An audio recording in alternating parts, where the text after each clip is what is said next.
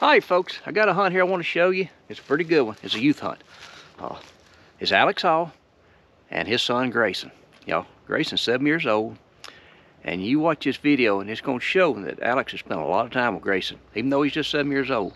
Uh, you know, I guess I want to ask y'all a question. Uh, how'd y'all get started hunting?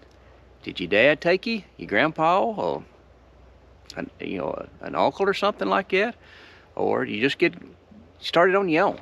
Well, you know, leave in comments. I'm curious to know how most hunters out there that's watching this show, how they got started, you know. You know, one thing, you know, I'm getting a little older now, and you, you see a lot of kids grow up. Uh, I've seen a lot of dads that took their kids, and it's not all boys. I know a couple that took their girls that was really spent time with them when they was this age, carried them hunting and stuff. And I see these kids now growing up, and they're raising kids, and man, they make good parents, y'all. Oh, so, hey, get your kid out there, spend time with them, get them out in the woods, get them where they enjoy the outdoors, because they'll pass these values down to their kids, y'all. So, hey, watch this video here. This is not how you want to start the morning. We gotta go pretty far in this morning. So I was gonna bring a four wheeler. Go halfway so Greyson didn't have to walk as far. Got here. Trailer's got a flat. Come on, wake up.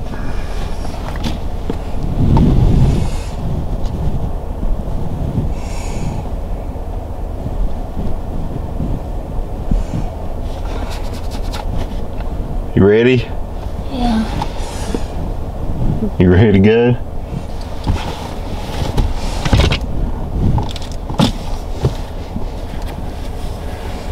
Did you get your nap out? Get it fully out. You didn't get fully out?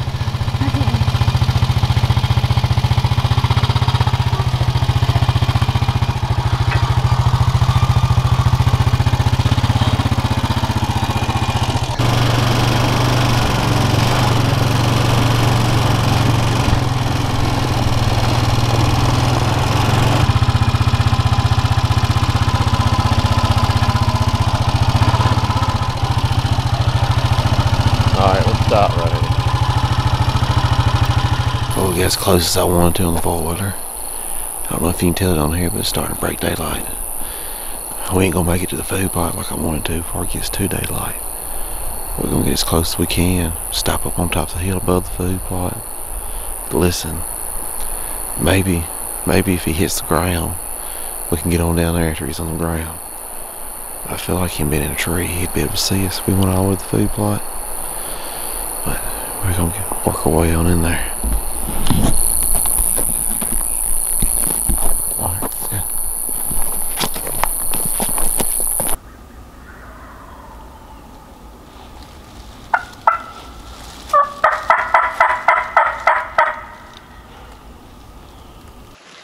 I guess I'm gonna try to get this decoy up. Or maybe he can see it from the food plot when he comes in.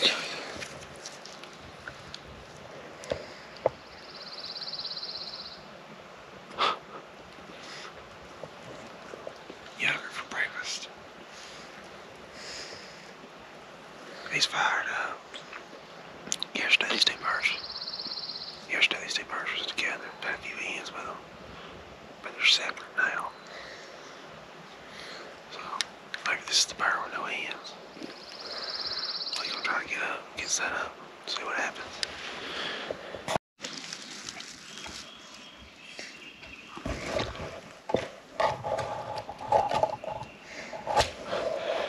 We made it, got set up. This bird flew down real early. So we say we get in this food plot. He's in this bottom below the food plot. There's a little hardwood strip in there and he's in it. Yesterday in his food, or last day morning they've been in his food plot. Like I said, the two gobblers are separate now, so I don't know. We'll just sit here and wait them out. I guess both of them's got hens with them. There's huge, huge dusting bowls everywhere inside his food plot, so they'll be here sometime today. We may just have to spend a little time in here.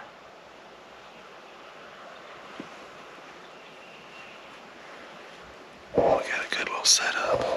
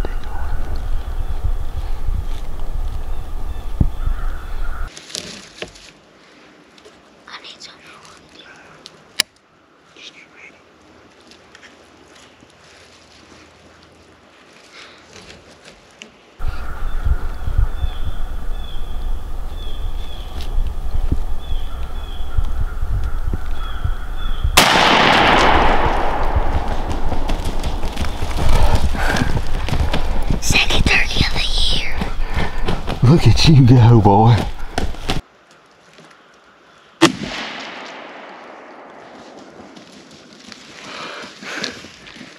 Second turkey of the year.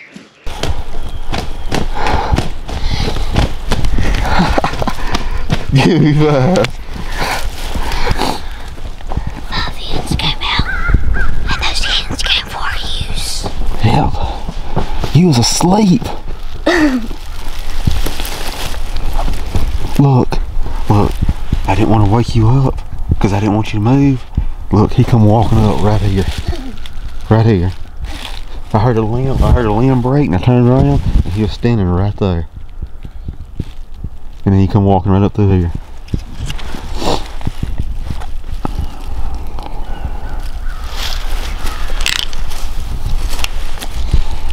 He was probably too lazy to look around. Second turkey.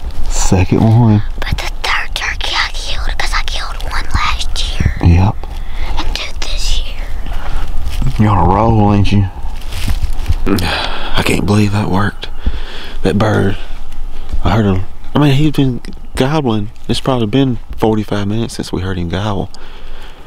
And I, I knew all his hands was up here, so I figured eventually he was going to come up here. But he was straight out in front of us.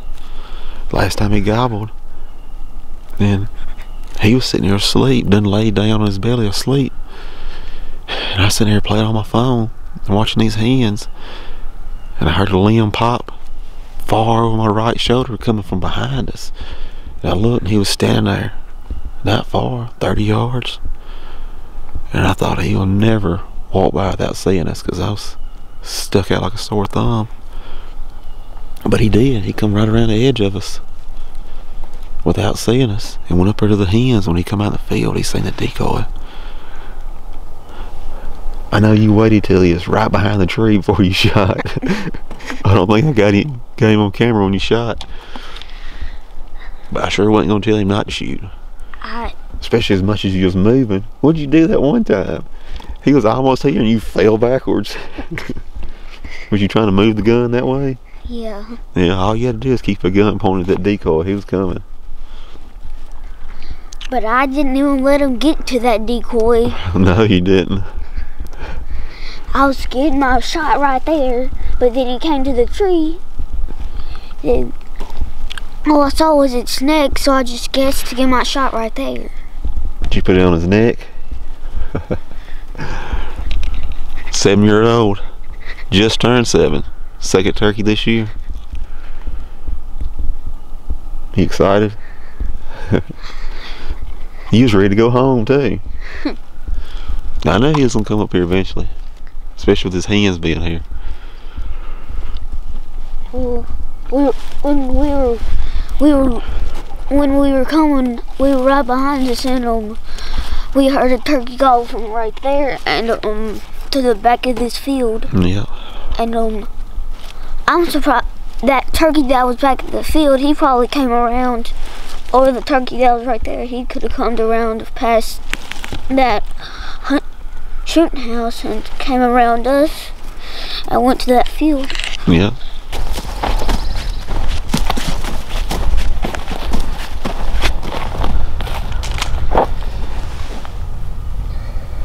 Look at that thing, boy.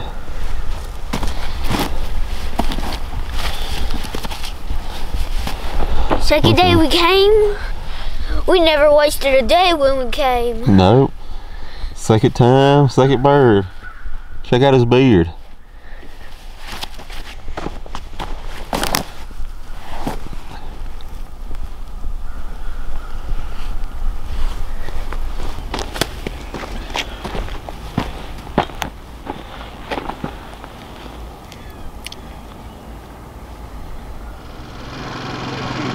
I'm a chauffeur.